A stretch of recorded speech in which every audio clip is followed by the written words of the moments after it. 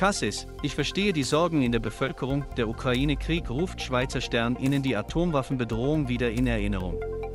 Bundespräsident Ignacio Cassis will sich für Abrüstung einsetzen und verwehrt sich gegen Kritik, die Schweiz habe die EU-Sanktionen zu zögerlich übernommen. 3.3.2022 Im Bundesrat knirscht es derzeit wahrnehmbar. Dass sich vor allem Ignacio Cassis und Karin Kellersutter immer wieder offen widersprechen, ist ungewöhnlich. Der Grund dafür liegt laut einem Experten auf der Hand. Eigentlich arbeitet die Landesregierung nach dem Kollegialitätsprinzip.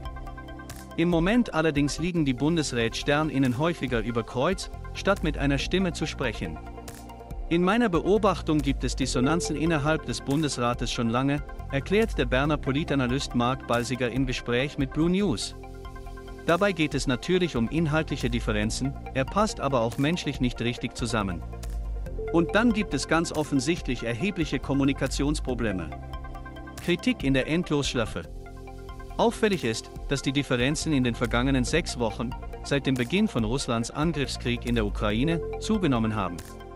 Sei es bei der Übernahme der EU-Sanktionen gegen Russland, sei es bei Überflugrechten für Militärflugzeuge, sei es bei der Einschätzung der Massaker von Butscha. Ebenso auffällig, im Zentrum von verbalen Auseinandersetzungen stand und steht vor allem Ignacio Cassis, der sich vornehmlich mit Karin Keller-Sutter nicht einig ist.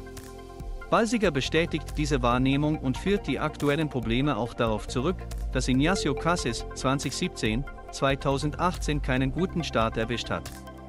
Wer in einem Schlüsselamt schlecht startet, wird als leichtgewichtig wahrgenommen. In den viereinhalb Jahren seiner Amtszeit sei er immer mal wieder in Fettnäpfchen getreten.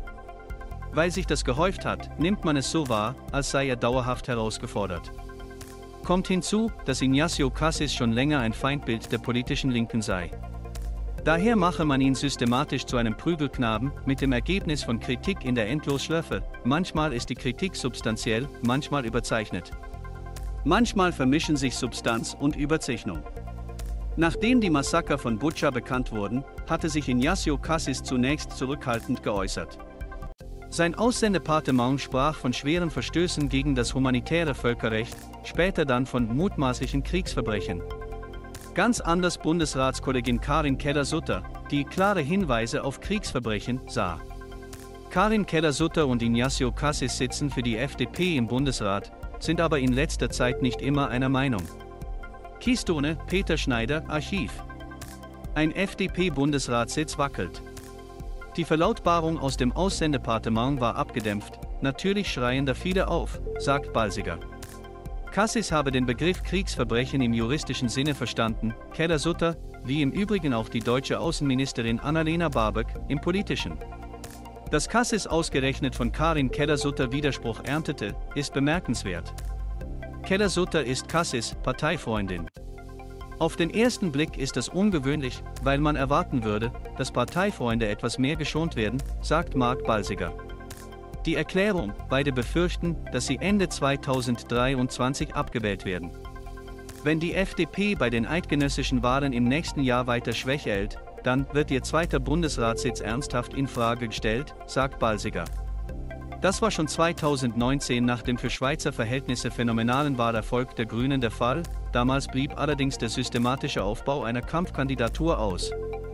Die damalige Grünen-Präsidentin Regula RYTZ hatte den Bundesratssitz von Ignacio Cassis angegriffen, scheiterte aber klar. Nun würden Cassis und Keller-Sutter alles tun, um sich in die nächste Legislatur zu retten. Sie versuchen, sich zu profilieren, und das geht bisweilen zu Lasten eines Regierungskollegen, führt Balsiger aus.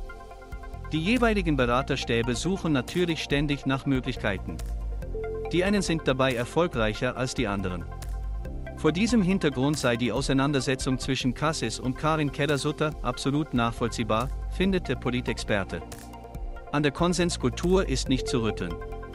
Trotz aller derzeitigen Differenzen zwischen einzelnen Regierungsmitgliedern, das Schweizer Konkordanzmodell wird sich so schnell nicht zu einem konkurrenzbasierten Demokratiemodell, wie es viele Länder Europas kennen, wandeln. Die Schweiz will an dem festhalten, was sie kennt, einem politischen Modell der Kleinstschritte, das aber auch ein Modell der Kontinuität ist, ist Balsiger überzeugt. Dass es alle vier oder acht Jahre einen politischen Richtungswechsel gibt, sei schwer vorstellbar. Dann würden viele Maßnahmen der Vorgängerregierung wieder rückgängig gemacht, sagt Mark Balsiger. Außerdem würde es große Probleme mit den Volksabstimmungen geben, Sie können davon ausgehen, dass beispielsweise bei einer Mitte-Rechts-Regierung die linke Opposition systematisch Referenten ergreifen und Volksinitiativen lancieren würde, und andersrum. Das liefe auf die Lahmlegung des politischen Betriebs hinaus und brächte die weiterhin stark ausgeprägte Konsenskultur zum Erliegen.